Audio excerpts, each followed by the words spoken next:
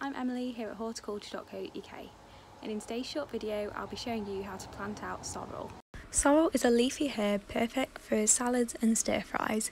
It has a slight lemony tang to it and is perfect to add a bit of flavour to your dishes. To plant out sorrel, I'm planting mine in this big herb pot along with rosemary and chamomile. I'm pushing some compost aside to make a planting hole for the sorrel.